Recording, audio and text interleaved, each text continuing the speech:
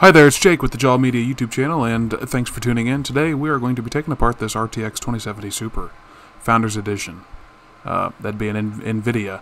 So all we're wanting to do is take this thing apart and first off see how serviceable it is, and then secondly um, see how much of a bear it is to get apart.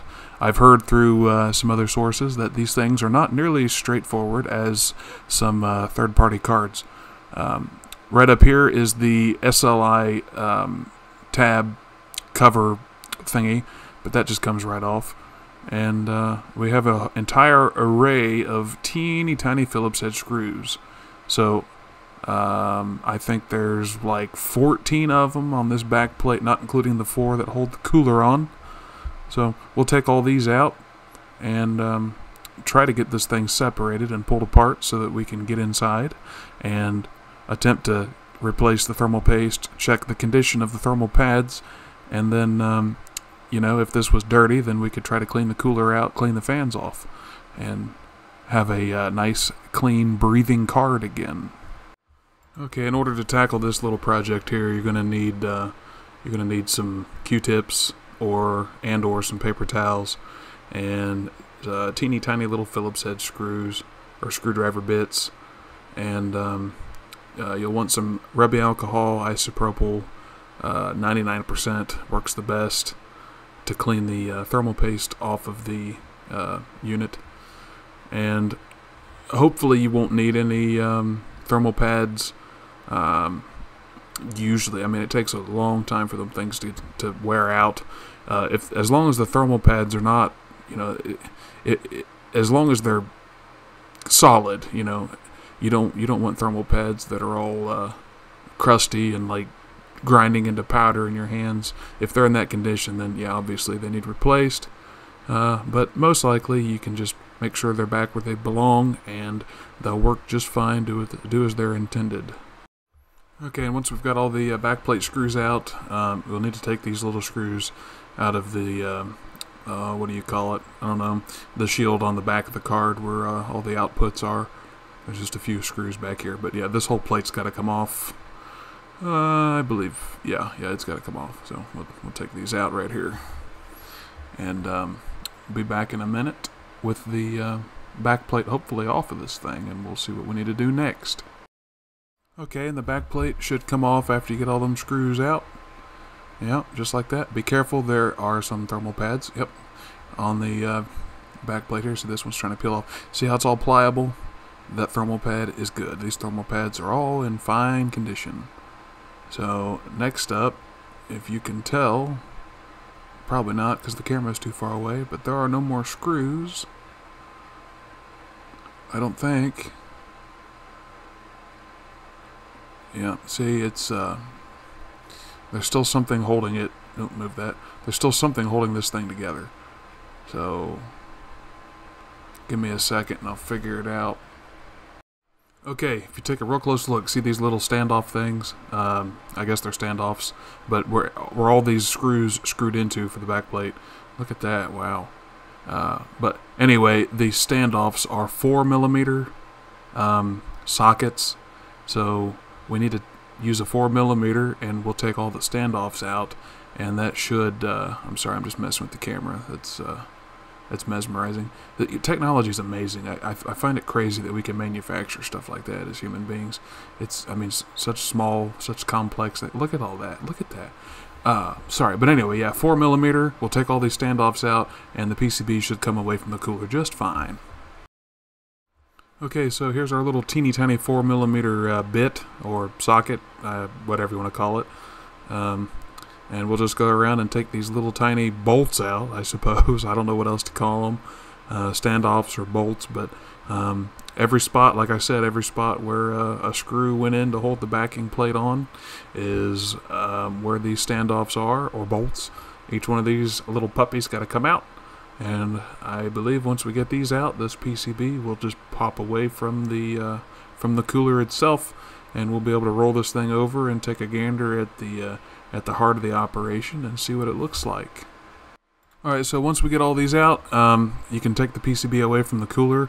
Just be careful when you lift it away. There is a uh, wiring harness that goes from the PCB to the fans.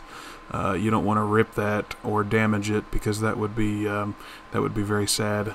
Uh, right there it is, and there you go. Look at that. We got her apart, and be careful of all the thermal pads. You can see uh, certain little chips or ICs, whatever, have random, what looks to be random pads on them. And uh, some components have thermal compound on them. Hmm. What is that for the uh, VRM? Yep, some of the VRM has a thermal compound on it. Yeah, this thermal pad. Yep, it went right there. Okay, so yeah. Um, anyway, we're gonna go ahead and unplug it so that we can work with this thing a little easier. Remember, just be very gentle. You don't want to you don't want to break nothing, but uh, this thing should just unplug, right? Yeah, it's just a regular. Yeah, there we go. Okay, all right, and we'll move the cooler. This massive freaking cooler. There's the there's the paste I was talking about. Uh, I've never seen that done, but I haven't really taken very many cards apart, and this is the first Founders Edition card I've ever taken apart. So, yeah, we're going to, uh, let me see, is it, yeah, I thought that thermal pad was uh, crunchy or something, but we will go ahead and clean the um, thermal compound off of the um, uh, uh, SOC, and um, we'll get the uh, numbers off of it. I believe it's a it should be a TU104 of some sort, and we'll get it cleaned up, get some new compound on it, and uh, get her put back together. And uh, I'll show you the uh, reassembly process here in just a mo. Give me a minute.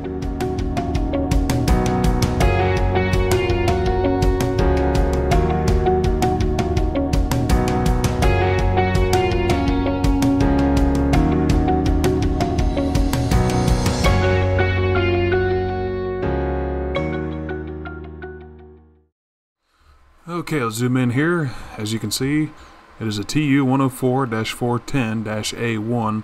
Um, and uh, real quick, let me just uh, point out the thermal paste that's left on the edges. Uh, I would not worry about trying to pick that off there or clean that up. Um, there's a very good possibility you could do more damage to it uh, by trying to clean that off than, than it's worth. You could kill it, uh, frankly, by breaking a little piece off. So don't worry about it. It's not going to hurt nothing. Uh, just try to get as much off of try to get as much off the uh, the shiny part of the uh, SOC as possible. But yeah, TU 104 410 A1, and uh, that's what's on this particular card here. And uh, yeah, that looks looks good. I um, I'm sorry, I just find it mesmerizing looking at all the little traces, especially with all the memory chips and things. And um, this thermal paste over here is still still screwing with me. I don't know why they didn't just put a big thermal pad right there. Um, but anyway, um, here's the thermal paste I use. I bought it at Best Buy uh, TG7. It's uh, I think it's eight dollars a tube, seven dollars a tube, something like that. At least my local Best Buy. And um, yeah, we'll just throw that over there and that. But yeah, just take the cap off and we're gonna put we're gonna put just a little bit right here. I'm not gonna show you yet, but it's kind of a feel thing. You just kind of just squeeze it on there and call it good. Yeah, yeah, yeah. It doesn't take a whole bunch. Okay, it doesn't take a whole bunch at all. Just a little little blob right there in the middle, and we'll go ahead and set it aside and get the cooler over here and go ahead and don't forget to clean the old paste off the bottom part of the, the cooler. I think they call that the cold plate. Uh, sorry, I'm got a little bit of hiccups going on or whatever. Um, but yeah, the bottom part of the cooler, make sure you clean this off too. So it would be kind of unfortunate to uh, clean the um, SOC off and then forget to clean the cooler off. It kind of defeats the purpose. So we'll just go ahead and clean this off just like we did the SOC. Uh, make it nice and shiny and we'll get ready to reassemble this this here gadget and this is when you would uh, you would uh, blow the cooler out that would be ideal Um, if you've got an old, well, maybe not an older card, but a, a, card with a few miles on it, it may collect some dust. So you can blow blow the blow air through it and blow the dust out of the fins. But to reassemble it, it's pretty simple. Just make sure you plug your fans back in, nice and gently. You don't want to break nothing. Make sure it's plugged in all the way. It is time consuming to take it back apart because of the uh, 17,749.3 screws it's got hold it holds it together. And uh, we'll just set this back down, align it up, and uh, yeah, yeah, yeah. Just make sure that she's on there. And uh, for reassembly, we'll want to uh, put put the bolts back in. And there's four screws. There's four screws that hold the cooler together on the ends, on both end. On the left side, um, down underneath the PCB. You want to make sure you put, make make sure to put those back in. I don't think I mentioned them when I took it apart, but yeah, you want to make sure that those are in there. And we're going to do some, uh, let's do some fake B-roll of all of these daggone screws that hold this silly thing together. Look at that. It's just a mess.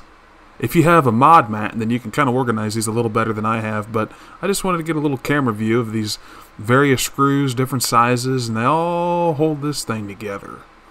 It's like NVIDIA paid their engineers to like utilize as many screws as possible in uh, assembling this particular GPU. Um, like I said earlier, I, I, have never had a Founders Edition card, especially 3000 or 2000 series, and I, I, wasn't really sure what I was getting myself into here. Uh, Gamers Nexus, um, he actually took the cooler apart, and I, from what I understand, the cooler is held together with glue, and you've got to like break it to get the cooler apart to replace the fans. I'm not doing that, obviously. I don't want to mess with that mess. So uh, here we are. I'm just taking the just took it apart so that you can see how to replace the thermal paste, check your thermal pads, and then reassembly. Which, um, if you need a guide, here we are. So let me get the camera set up right. I really need to get a camera made for making YouTube videos because my cell phone is kind of difficult. All right, so we're going to start with the with the four millimeter bolts. So get your socket or your bit, whatever you want to call it, and strategically with your fingers, you can start threading them in. And with my giant freaking sausage hands, that's uh, a little difficult, but just make sure you do, do not cross thread the little bastards in there because that would really suck.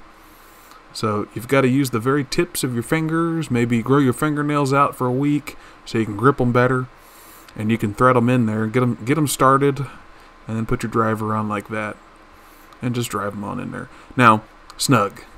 You don't want to crank these things down and break something, so just snug them down a little bit. You know, right there. See, click, click, and 20 minutes later, you'll have all 444 million of these little standoffs back in, and you'll be ready to put the uh, backing plate back on. Um, like I said, don't forget about the four screws, two on either side that hold hold the cooler together, or help hold the cooler together. Um, they're black screws, and uh, yeah, we'll put these in. We'll put the back plate on where the output uh, ports are, and also just like I said earlier, make sure the thermal pads are in place on the back plate. Um, uh, this card does sink heat into the back plate, which is a very good idea. Thank you, NVIDIA, for that. Um, that that helps a lot with dissipating heat, thus extending the life of the card overall. So um, I'm going to go ahead and cut through this little part, and um, and uh, we'll we'll see what's next. All right, now once you've got the standoffs in, before you put the back plate on, you want to go ahead and put the uh, screws, the four screws with the springs on them that hold the cooler on the uh, PCB. So you want to start in one corner move on to the opposing corner like this. And, uh, hang on, let me make sure this is right. Yeah, yeah, yeah, because the, the spring doesn't fit on the outside of the back plate. So, yeah, you've got to put the, uh, yeah, you got to put the spring screws in first. Start in one corner, move up like this. Just make them snug. You don't want to, you don't want to overdo it. And then come down like this Yeah, and then we'll go up to this last one, snug it down. Oh, okay. And there we go. And just be careful with your screwdriver. You don't, want to, you don't want to scratch up this real nice back plate. And then, like I said, we'll move on to the 45 trillion, 749 million, 449,000, uh, 644 small screws. Hold the back plate on. And uh, after this, we'll uh, we'll be we'll be good to go. Oh, and uh, don't forget to put the the uh, the back plate on where the um, or the output plate, the black NVIDIA plate, where the output outputs are on the back of the card. That goes on before the backing plate. Alright, and once you get all the screws back in, you can reinstall your graphics card back into your computer and you are all done. You've got a nice clean, fresh thermal pasted RTX 2070 or 2070 Super or any Founders Edition. I believe they're all the same, just, you know, different sizes. So, hit the uh, like button, subscribe if you would uh, like some more content and to be notified when I post it. And I really appreciate you watching. And I guess I'll hopefully see you in the next video, you guys. Thanks, thanks again for watching, and we'll see you later.